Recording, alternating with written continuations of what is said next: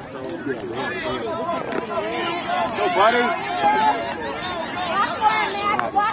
Watch that ball, Aiden. Stay on your toes. Good hustle, buddy. Good run.